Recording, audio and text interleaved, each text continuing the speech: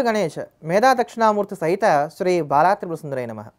జై జయశంకర టీవీ ప్రేక్షకులకు శుభోదయం. శ్రీరస్తు కార్యక్రమానికి స్వాగతం.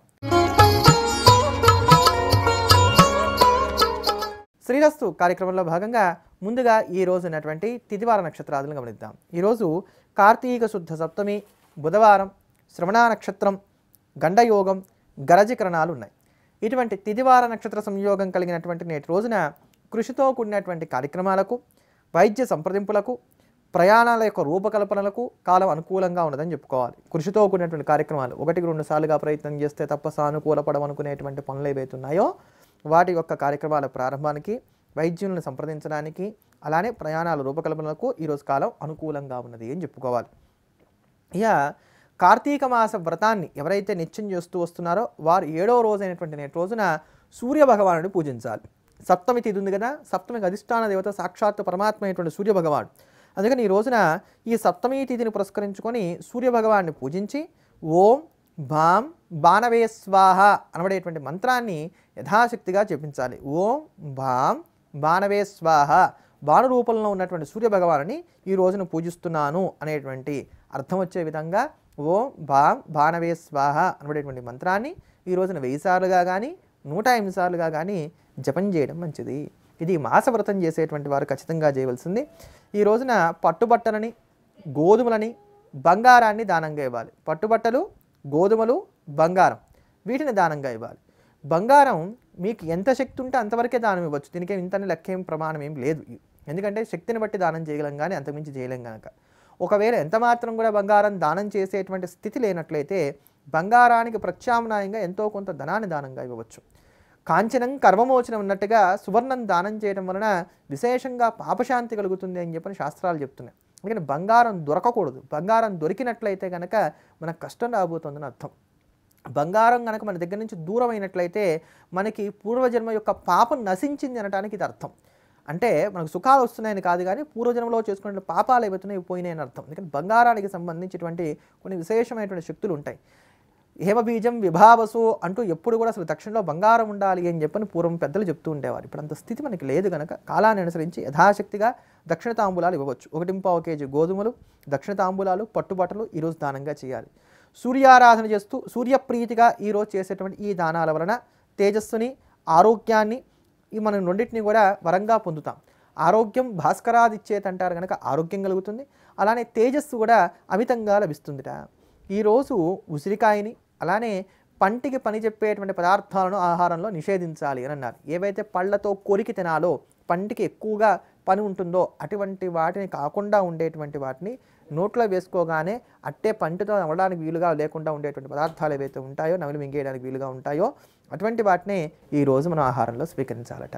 ఇక ఆధ్యాత్మికంగా చూసినప్పుడు ఈ రోజున శాఖవ్రతాన్ని ఆశ్రయించాలి శాఖవ్రతం చేయాలి అని చెప్పి నారద పురాణం మనకు తెలియజేస్తూ వస్తున్నది.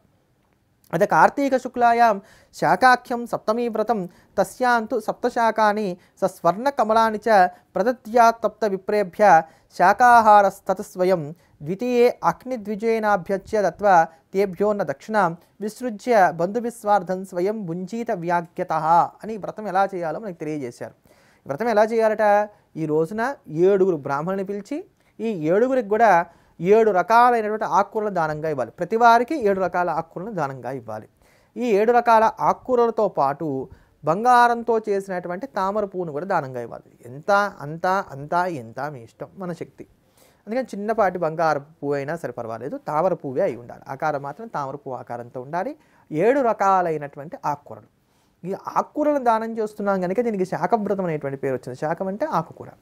వాటిని ఏడుగురు బ్రాహ్మణులకి దానం చేసి ఈ రోజున అంతా కూడా మౌనంతో ఎక్కడా కూడా ఆహారం తీసుకోకుండా పరిపూర్ణంగా ఉపవసించారట. ఇలా ఉండి రేపటి రోజున వీళ్ళందరికీ కూడా భోజనం పెట్టి తర్వాత తాను కూడా భోజనం చేయాలి. ఇలా చేసేటువంటి వ్రతం గనక దీనికి శాకవ్రతం అనేటువంటి పేరు వచ్చింది అని అన్నారు. ఇది పాపనాశనానికి సూర్యుడి యొక్క అనుగ్రహాన్ని పొందడానికి ఉపకరించేటువంటి వ్రతం. ఇది ఎక్కడ ఈ రోజులో ఆచరింపబడుతున్నట్టుగా కనబడకపోయినా విషయ సంగ్రహం కోసం ఈ రోజు మనం చేసుకోవాల్సినటువంటి అంశాలను పురస్కరించుకొని చెప్పడం జరిగింది. అలానే ఈ రోజున తిరుమల దివ్యక్షేత్రంలో పుష్పయాగం కనుల పండుగగా జరుగుతుంది. ఇవాళనే యజ్ఞవల్క జయంతి పోయిగై ఆళ్వార్ వర్ష తిరునక్షత్రం ఈ రెండు కూడా కలిసి వచ్చాయి. కనుక ఋషోత్తముడైనటువంటి ఋషుల్లో చాలా ఉత్తముడైనటువంటి యజ్ఞవల్క మహర్షిని అలానే ఆళ్వార్ పరంపరలో మహానుభావుడైనటువంటి పొయ్యగే ఆళ్వార్ని వీరిద్దరిని కూడా మనం స్మరించాలి. ఋషులు లేకపోతే మన భారతీయ సంస్కృతి లేదు.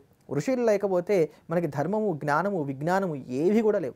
అటువంటి వారందరిలోకి కూడా అటువంటి మహనీయమైనటువంటి ఋషిబృందం అంతటిలోకి కూడా పరమ శ్రేష్ఠుడిగా ప్రాతస్మరణీయుడిగా ఉండేటువంటి వాడు యాజ్ఞవల్క మహర్షి. యాజ్ఞవల్కుడి యొక్క అనుగ్రహ ప్రభావ కారణం చేతనే ఈ రోజున మనకి శుక్ల యజుర్వేదం లభిస్తున్నది. ఆయన లేకపోతే ఈ శుక్ల యజుర్వేదం మనకు లభించడానికి అవకాశమే ఉండేది కాదు. అందుకని నేను చాలా గొప్పవాడుగా చెప్పబడుతున్నటువంటి వాడు. దేవవ్రాతుడు అనేటువంటి ఒక మహర్షి ఉండేవాడు ఆ దేవవ్రాతుడు అనబడేటువంటి ఆ ఒక్క మహర్షి యొక్క కుమారుడు ఈయన యాజ్ఞవల్క మహర్షి. వీరు అనేకమైనటువంటి మహాత్ముల దగ్గర ఋగ్వేదాన్ని సామవేదాన్ని అథర్వణ వేదాన్ని అధ్యయనం చేసిన తర్వాత వైశంపాయన మహర్షి దగ్గర యజుర్వేదాన్ని నేర్చుకున్నారు. వైశంపాయన మహర్షి సాక్షాత్తు వీరికి మేనమావ గారు.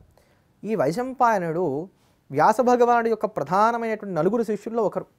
వీరి యొక్క అనుగ్రహ ప్రభావ కారణం చేత మనకి చాలా వరకు కూడా భారతాదులన్నీ కూడా లోకానికి అందినాయని చెప్పిన ప్రతీతి అత్యంత ప్రధానమైన శిష్యులు నలుగురు ఉండేవారు వ్యాస భగవానుడి దగ్గర. వారిలో ఈ వైశంపాయనుల వారు ఒకరు. వారి దగ్గర నేర్చుకున్నారట ఈయన వేదం అంతా కూడా యజుర్వేదం అంతా కూడా. అయితే అన్ని వేదములు చదువుకోవటం అన్ని విధములైనటువంటి అంశాల మీద పట్టు ఉండటం సమస్తమైనటువంటి జ్ఞానానికి సంబంధించిన అంశాలు కూడా తెలిసినటువంటి కారణం చేత వీరిలో కొంత కించిత్ అహంకారం వచ్చింది. ఎప్పుడు కూడా ఇది త్వరగా వస్తుందండి. పండితులైనటువంటి వారందరి దగ్గర కూడా అంతో ఇంతో ఈ అహంకారం త్వరగా ప్రవేశిస్తుంది. పండితుడికి అహంకారం ఆభరణం అనేటువంటి ఒక మాట అతిశయోక్తిగా చెప్పుకునేటువంటి మాట తప్ప ఎంత వినయం ఉంటే అంత శ్రేయస్సు తప్ప అహంకారం ఉండకూడదు అని.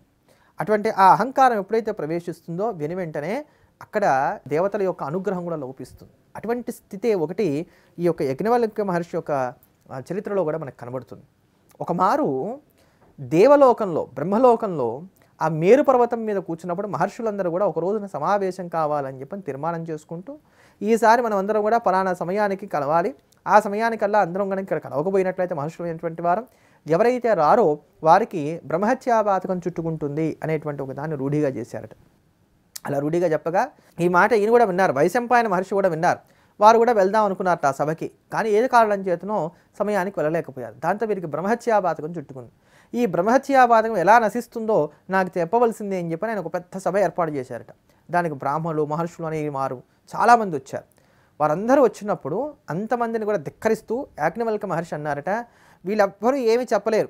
నాలుగు వేదములను కూడా సాంగ అధ్యయనం చేసినటువంటి వాడిని సమస్తమైనటువంటి స్మృతుల మీద పట్టుకలిగినటువంటి వాడిని అన్నీ తెలిసినటువంటి నేను మాత్రమే ఓ మహానుభావుడైనటువంటి ఒక వైశంపాయన మహర్షి నీకున్నటువంటి ఈ బ్రహ్మహత్యా బాధకం పోగొట్టుకోవడానికి కావలసినటువంటి పరిహారాన్ని చెప్పగలుగుతాను అన్నట్టు దాంతో వైశంపాయన మహర్షి కోపం వచ్చింది. ఆయనయే గురువు ఆయనే మేనమావ కూడా ఇతనికి. అంటే ఈయన శ్రేయస్సును కోరి ఇతనిలో ఉన్నటువంటి అహంకారాన్ని తీసివేయడం కోసం అని చెప్పని ఇంత పెద్దదైనటువంటి సభలో ఇందరిని ఆక్షేపణ చేస్తూ వీళ్ళందరిని అవమానపరిచే విధంగా మాట్లాడావు గనక ఇంతటి గర్వం నీకు వచ్చింది గనక నిన్ను నేను ఆజ్ఞాపన చేస్తున్నాను. నీకు నేను నేర్పిన విద్యంతా నా దగ్గర వదిలివేసి వెళ్ళిపోయి ఇక్కడి నుంచి ముందని అన్నట్టు వెంటనే యాజ్ఞవల్కుడు కూడా అదే పని చేసేట విద్య ఎలా వదులుతామండి? అదేమైనా వస్తువు నా దగ్గరకు వచ్చి తీసుకొని నీకు ఇచ్చేస్తానంటే అని కుదురుతుందా? కుదరదు కదా. కానీ ఈయన అంతటి దిట్ట ఆ సంగతి తెలిసినటువంటి వాడే వైశంపాయన మహర్షి. తనలో ఉన్నటువంటి విద్యనంతా కూడా తేజో రూపంలో బయటికి వెలగక్కట. అంటే వాంతి రూపంలోకి వదిలివేసేట. తేజస్సుతో కూడినటువంటి వాంతి రూపంలోకి వదిలేసేట. అలా తేజస్సుతో కూడినటువంటి వాంతి రూపంలో వేదరాశినంతా కూడా ఆయన దగ్గర వదిలేసి నిత్తేజస్కుడై వేదం ఇప్పుడు ఆయన యొక్క శరీరంలో లేదు. వేదం నేర్చుకున్నటువంటి వారి ముఖం చూడండి కాంతితో ప్రకాశిస్తూ ఉంటుంది. వేదం నేర్చుకున్నటువంటి వారి ముఖంలో ఆ కాంతి మనకు కనబడదు. అదొక విశేషమైనటువంటి దైవానుగ్రహం. ఆ వేదాన్ని నేర్చినటువంటి వారందరినీ కూడా వేదమాత అనుగ్రహిస్తూ ఆ కాంతిని వారికి ఇస్తుంది. ఆ కాంతి ఇప్పుడు వీరిలో లోపించిందిట. నిస్తేజుడైనటువంటి ఈ అగ్నివల్కుడు తిరిగి మళ్ళీ అంత పూర్వ వైభవాన్ని పొందడానికి వేదజ్ఞానాన్ని పొందడం కోసం అని చెప్పని సరస్వతీదేవిని స్తోత్రం చేశాట ఇప్పుడు శారదాంబ ఈయనని సూర్యభగవాన్ని ఆశ్రయించమని చెప్పగా సరైనని చెప్పని సూర్యుని స్తోత్రం చేస్తే సూర్యుడు గుర్రం రూపంలో వచ్చి ఈయనకి యజుర్వేదంలో చాలా వరకు భాగాన్నంతా కూడా బోధ చేశాట అలా గుర్రం రూపంలో సూర్యుడి దగ్గర నుంచి యజుర్వేదాన్ని అంతా కూడా ఈయన పొందాడు కనుకే యజుర్వేదమునకు వాజస్నేయ సంహిత అనేటువంటి పేరు వచ్చింది అని చెప్పని. వాజసము అంటే ఈ యొక్క గుర్రం అనమాట అందుకని వాంజివాహననే అని చెప్పని మన అయ్యప్ప స్వామి స్తోత్రం చేస్తుంటాను వాంజి అంటే గుర్రం. దాని వాహనంగా కలిగిన వాడు కనుక గుర్రాన్ని వాహనంగా కలిగిన వాడు కనుక అయ్యప్ప స్వామికి ఆ పేరు. ఇక్కడ దీనికి వాంజనేయ సంహిత వచ్చింది అనేటువంటి పేరు వచ్చింది. ఈయన ఎప్పుడైతే దీన్ని బయటికి వెలుగక్కుతూ వచ్చాడో వాంతి చేసుకుంటూ వచ్చాడో గతంలో ఈ వేదాన్ని అంతా కూడా అప్పుడు బయటపడినటువంటి దాన్ని కూడా తిత్తిరి పక్షులు మిన్నాయట అలా తిత్తిరి పక్షులు తిని వాడికి వేదజ్ఞానం కలిగి అవి పలుకులు పలికినాయట. అలా వచ్చినటువంటివే ఉపనిషత్తుల్లో అత్యంత ప్రధానమైనదే తైత్తీరియోపనిషత్తు అని అంటారు. ఇలా ఉపనిషత్తులు వేదములకి పుట్టడానికి శుక్లయజుర్వేదం ఈ లోకానికి అందటానికి అనేకమైనటువంటి రూపాల్లో మనకి సహకరించినటువంటి వాడు యాజ్ఞవల్క మహర్షి. అంతేగాక స్మృతికర్త. యాజ్ఞవల్క స్మృతి ఈరోజు చాలా విస్తృతంగా మనకు లభిస్తున్నది. అత్యంత అద్భుతమైనటువంటి ధర్మశాస్త్రం అది. వీరి యొక్క భార్యల పేరు గార్గి మైత్రేయి అలానే కాత్యాయిని. వీళ్ళందరూ కూడా ఈయన యొక్క మహానుభావుడైనటువంటి వారితో సహచర్యం చేసి బ్రహ్మజ్ఞానాన్ని పొందినటువంటి వారు. ఇక పొయ్గే ఆళ్వార్ వర్షత్తిరు నక్షత్రం. వీరు పన్నెండు మంది ఆళ్వార్లలో అత్యంత ప్రధానమైనటువంటి వారు. మొదటి ఆళ్వార్లని ముగ్గురు పిలుస్తూ ఉంటారు. పొయ్గే ఆళ్వార్ పూదత్తాళ్వార్ పెయ్యాళ్వార్ అని వీళ్ళకి పేరు. ఈ పొయ్యిగై పూదత్ పెయ్యాళ్వార్లలో ఈ పొయ్యిగై ఆళ్వార్ యథోక్తగారి దేవాలయంలో కాంచీపురంలో ఉంటుంది యథోక్తగారి దేవాలయం. యథోక్తగారి అంటే మహావిష్ణువుకు ఉన్నటువంటి మరొక పేరు. ఆ దేవాలయానికి ఉన్నటువంటి సరోవర ప్రాంతంలో ద్వాపర యుగాంతంలో సిద్ధార్థినామ సంవత్సరంలో ఈ యొక్క రోజున శుక్లపక్షంలో అష్టమి తిథి ఉండగా స్వామివారు జన్మించారట. ఈ రోజున తిది అష్టమి లేకపోయినా వారు జన్మించినటువంటి నక్షత్రాన్ని పురస్కరించుకున్న శ్రవణ నక్షత్రం ఉంది కనుక వైష్ణవ సంప్రదాయంలో నక్షత్రానికి ప్రాధాన్యతనిస్తారు కనుక ఈ రోజు వారి యొక్క ఉత్సవాన్ని జన్మదినోత్సవాన్ని మనం జరుపుకుంటున్నాం. వీరు పాంచజన్యం యొక్క అంశతో జన్మించినటువంటి వారు. వీరు అందించినటువంటి అనేకమైనటువంటి తిరువైష్ణవ సంప్రదాయానికి సంబంధించినటువంటి పాశ్రములు లభిస్తున్నాయి. వాటన్నిటిని కూడా ఈ రోజు మనం పారాయణ చేయవలసినటువంటి రోజు. ఇటువంటి మహాత్ములు జన్మించినటువంటి ఈ రోజున మనందరం కూడా భగవంతుని సేవించి తరించదుముగా కానీ ప్రార్థన చేస్తూ ఈ రోజు ఉన్నటువంటి పరిహారాన్ని ఒక్క మార్గం అనిద్దాం.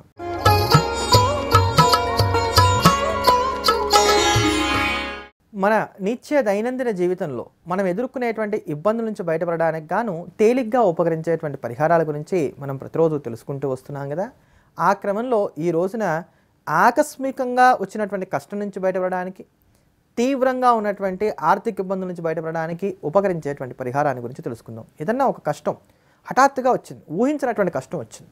ఆ హఠాత్తుగా వచ్చినటువంటి కష్టం నుంచి బయటపడడానికి అలానే తీవ్రమైనటువంటి ఆర్థిక ఇబ్బందుల నుంచి బయటపడడానికి ఉపకరించేటువంటి పరిహారం ఏదైతే ఉందో దాన్ని చెప్పేటువంటి ప్రయత్నం చేస్తుంది కొంచెం ఓపిక్గా చేసుకోవాలి నెలన్నర పాటు చేయవలసినటువంటి పరిహారం. ఇది ఎప్పుడు ప్రారంభం చేయాలంటే ఏదన్నా ఒక మంచి రోజు ప్రస్తుతం మనకి డిసెంబర్ తొమ్మిదో తేదీ వరకు కూడా మనకి గురుమోర్చం నడుస్తుంది కనుక అంతవరకు అయితే మాత్రం వద్దు దాని తర్వాత ఏదైనా ఒక మంచి రోజు చూసుకొని ఆ రోజున మీరు ప్రారంభం చేయవచ్చు. ఇది ఆ మంచి రోజు ఏ రోజైతే మీరు మొదలుపెట్టదలుచుకున్నారో ఆ రోజు నుంచి వరుసగా పదకొండు రోజుల పాటు ప్రతిరోజు కూడా తులసి కోట్లో ఒక కాయిన్ దాచిపెడుతురండి వరుసగా పదకొండు రోజుల పాటు. మొత్తం పరిహారం ఏమో నెలన్నర పాటు చేయాలి. దాంట్లో మొదటి పదకొండు రోజులు మాత్రం మీరు ఏం చేయాలంటే తులసి కోట మొదట్లో కాయిన్ని పాతి పెడుతూ రావాలి. ఐదు రూపాయలకు అయినా రెండు రూపాయలకు అయినా రూపాయి పది రూపాయలకు అయినా ఏదైనా పర్వాలా. కానీ రోజు ఏదో ఒక కాయిన్ ఆ తులసి కోట మొదట్లో పాతి పెట్టండి. అది చక్కగా ఆ కుండిలో. ఆ కుండిలో పాతి పెట్టేటప్పుడు జ్ఞాపకం పెట్టుకోవాల్సింది ఏంటంటే మొదటి రోజు మీరు ఎంత విలువ కలిగినటువంటి నాణాన్ని నాటిపెట్టారో అంత విలువ కలిగినటువంటి నాణాన్నే మిగతా అన్ని రోజులు కూడా ఈ పదకొండు రోజుల పాటు కూడా దాంట్లో పాతి పెడుతూ రావాలి. అంటే ఉదాహరణకి మొదటి రోజు రూపాయి నాణ్యం పెట్టారనుకోండి పదకొండు రోజులు రూపాయి నాణ్యమే మొదటి రోజు రెండు రూపాయల నాణ్యం పెట్టారనుకోండి పదకొండు రోజులు రెండు రూపాయల నాణ్యమే మొదటి రోజు ఐదు రూపాయల నాణ్యం పెట్టారనుకోండి పదకొండు రోజులు ఐదు రూపాయల నాణ్యమే ఇట్లా. ఇలా పదకొండు రోజులు కూడా పాతి పెట్టండి. పదకొండు రోజులు కూడా ఇలా అయిపోయిన తర్వాత నుంచి ఇంకా మీరు ఎక్కడ ఏ నాణ్యాలు కూడా పాతి పెట్టక్కర్లేదు. అయితే రోజు మొదటి రోజు నుంచి నెలన్నర రోజుల వరకు కూడా మీరు చేయవలసిందల్లా ఏమిటనంటే దాంట్లో నీళ్ళు పోయండి ఆ నీరు పోస్తూ రండి. కేవలం నీళ్ళు పోస్తూ రండి. ఐదవ రోజు నుంచి మాత్రం నీటితో పాటు కొద్దిగా పచ్చిపాలు కూడా పోస్తూ రావాలి. ఇది జ్ఞాపకం పెట్టుకోండి. కన్ఫ్యూజన్ ఏం లేదు. జాగ్రత్తగా వినండి. తులసి కోటలో మొదటి పదకొండు రోజులు ఏ కాయిన్ అయితే పాతి పెట్టామో ఎంత విలువ కలిగిన కాయిన్ పాతి పెట్టామో పదకొండు రోజుల పాటు కూడా అంతే విలువ కలిగినట్టు కాయిన్ పాతి పెట్టాం. రోజు దాంట్లో నీళ్ళు పోస్తున్నాం. ఐదో రోజు నుంచి మాత్రం నీళ్ళతో పాటు కొద్దిగా పచ్చి పాలు కూడా విడిగా పోస్తున్నాం. నీళ్ళతో కలపకుండా నీళ్ళు పోసిన తర్వాత కొద్దిగా పచ్చిపాలు కూడా అందులో పోస్తూ వస్తున్నాం. కొద్దిగా ఒక చెంచా పోస్తూ వచ్చాం. ఇలా నెలన్నర పాటు చేసి నెలన్నర అయిపోయిన తర్వాత ఈ కాయిన్స్ అందులో పాతిపెట్టినవి అవుతున్నాయి వాటిని బయటికి తేయండి. వాటిని పసుపు రంగు సంచిలో వేయండి. పసుపు రంగు సంచి కాటన్ సంచి ఏదైనప్పటికీ పర్వాలేదు. పసుపు రంగులో ఉండేటువంటి సంచి లేదా పసుపు రంగులో ఉండేటువంటి కాటన్ బట్టతో చిన్న సంచి లాగా కుట్టించేసుకొని దాంట్లో ఈ కాయిన్స్ ఏవైతే ఉన్నాయో పదకొండు కాయిన్స్ అందులో వేసేయండి. అలానే ఐదు గుండ్రటి పచ్చిపోకలని అలానే గోమతి చక్రాలని దీంట్లో వేసేయండి. ఎన్ని గోమతి చక్రాలు అంటే మూడు గోమతి చక్రాలు. మూడు గోమతి చక్రాలు అదే ప్రకారంగా ఐదు గుండ్రటి పచ్చిపోకలు ఈ పదకొండు కాయిన్స్ వీటన్నిటిని కూడా ఈ పసుపు రంగు బట్టలో వేసేసి దానికి తోడుగా ఒక మూడు పసుపు కొమ్ములు కూడా అందులో పెట్టి ఒక చిన్న మూటలాగా కట్టి మీ డబ్బు పెట్టుకునేటువంటి ధనస్థానంలో ఉంచుకోండి. ఇంతే మీరు చేయవలసింది. ఇలా చేసినట్లయితే ఈ ఆకస్మికంగా వచ్చిన కష్టము తొలుగుతుంది. ఆర్థికంగా వచ్చేటువంటి తీవ్రమైనటువంటి ఇబ్బందులు ఏవైతున్నా ఇవి కూడా పూర్తిగా తొలగిపోవడం అనేది జరుగుతుంది. ఇటువంటి మరిన్ని తేలికైనటువంటి పరిహారాలతో రేపటి శ్రీరస్తు కార్యక్రమంలో మళ్ళీ కలుద్దాం. ఎల్లప్పుడూ దేశాన్ని ప్రేమిద్దాం. దైవాన్ని స్మరిద్దాం. స్వస్తి